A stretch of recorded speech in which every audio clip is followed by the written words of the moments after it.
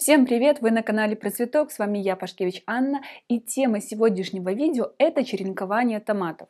Казалось бы, рассада растет, томаты набирают обороты, чего их черенковать. Но обратите внимание на те условия погоды, которые в этом году нам преподносят сюрпризы. Если вы такие же добросовестные огородники, как наш автор Дмитрий Кострицкий, который высеял на рассаду томаты в январе месяце, то наверняка у вас такая же картина, как сейчас у меня с рассадой на столе, когда рассада растет, вытягивается и уже начинают появляться первые бутоны. А извините, еще начало апреля месяца, соответственно, как минимум месяц необходимо рассаду продержать в домашних условиях. Что предпринять для того, чтобы рассада не перерастала и для того, чтобы мы впоследствии получили качественный и хороший урожай? Итак, первая причина, по которой можно обратиться к черенкованию томатов, это продлить тот гармоничный рост и развитие рассады у нас э, в помещениях до того, как мы ее вынесем на постоянное место жительства. Вторая причина, по которой мы тоже можем черенковать томаты, это э, несоблюдение тех условий выращивания, в результате чего, например, наши томаты э, вытягиваются из-за того, что высокая температура или высокая влажность или недостаточно освещения. Итак, мы принимаем для себя решение, что мы не хотим вести на дачу очень длинную высокую рассаду, которая у нас переросла. Соответственно, мы, пока есть еще целый месяц впереди, можем прибегнуть к такому приему, как черенкование. Третья причина, по которой мы можем черенковать томаты, касается тех людей, которые любят заливать свою рассаду. Мы знаем, что постоянная влага в грунте может провоцировать развитие тех или иных грибных заболеваний. Поэтому, если у вас есть первые признаки развития прикорневых гнили, но верхушка у вас э, хорошо себя чувствует, растет и развивается, тогда однозначно будем черенковать нашу рассаду. Вместе с черенкованием возникают очень часто страхи и опасения, сохранит ли рассада те признаки, которые э, обозначены производителем семян, например, на пакете. Ответ да, конечно, потому что это является способом вегетативного размножения, то есть изменение каких-либо признаков у растения не происходит, оно полностью повторяет э, те свойства и качества, которые были заложены при посеве семени в грунт.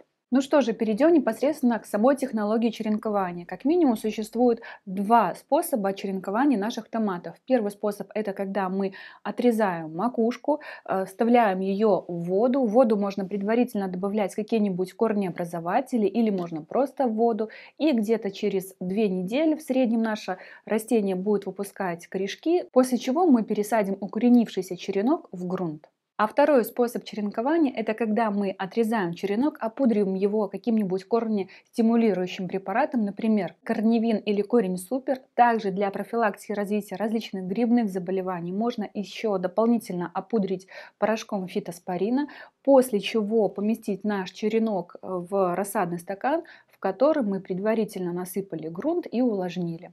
После того, как мы поместим черенок в стакан, дополнительно для сохранения поддержания влаги будем накрывать, например, вот такой вот отрезанной бутылкой, э, создавая специфические парниковые условия. И уже через 7-10 дней можно постепенно, открывая крышечку, адаптировать наш новый черенок к условиям выращивания в квартире и к концу э, срока адаптации, а это где-то 10-12 день, будем снимать бутылку и наш черенок превратится в полноценную рассаду. Хорошая профилактика развития грибных заболеваний в грунте будет предварительное его смешивание с препаратами, которые содержат триходерму. Для этого можно воспользоваться, например, э, препаратами с триходермой от производителя Profit, которые вы можете найти на нашем сайте. Также не забываем, что наш черенок, когда мы его помещаем в грунт, требует заглубления на 2-3 см и обязательного уплотнения в той части, которую мы помещаем, для того, чтобы, когда будет развиваться корневая система, не было пустот. Методика черенкования томатов является рабочей. В прошлом году у меня тоже было некоторое количество переросшей рассады. И поверьте, в сезон мы входили с ней, с рассады, уже укоренившейся в теплицу. И был достаточно хороший результат. Впрочем, вы видели это в многочисленных видео. Также вам маленькая хитрость на этот сезон, когда растения уже обретут постоянное место жительства в теплице. Во время пасынкования пасынки можно не выбрасывать, а их тоже укоренять, а затем высаживать. В результате мы растянем процесс поступления урожая на свой стол и в общем увеличим ту урожайность томатов, которая будет характерна для нашего огорода.